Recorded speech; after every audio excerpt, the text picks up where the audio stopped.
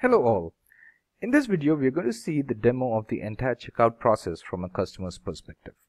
But before I start, let me show you which products I'm offering as a bump, an upsell, and a downsell.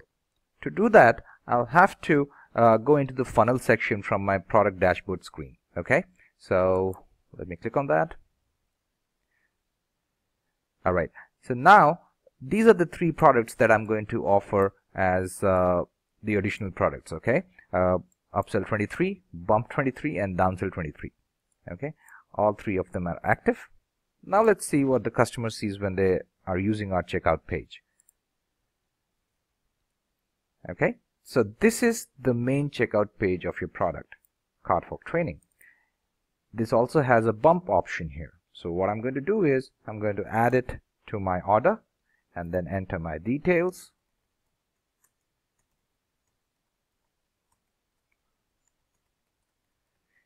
I have the test mode enabled on my main product so uh, I'll enter a dummy credit card number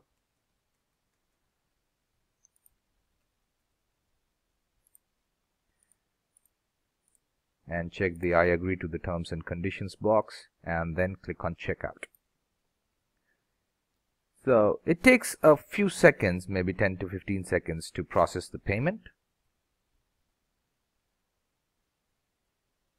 Then once the payment is successful, it takes me to the upsell page, which is uh, nothing but upsell 23, like we saw in the funnel section.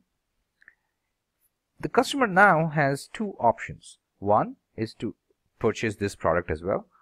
Second is to decline this offer. Okay, so if I upgrade this order, what would happen is I'll be directly taken uh, to the uh, client area. For now, I'll show you exactly what happens when I decline this offer. Once the upsell offer is declined, the customer would be redirected to the downsell page. Okay, similar to the upsell page, he'll again have two options, either to purchase this product or to decline this offer. Okay, so now if I upgrade this order, it should bring me to a thank you page like this one.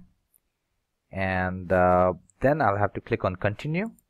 And it will redirect me over to the client's uh, client area. So this is the client area that I have. Okay?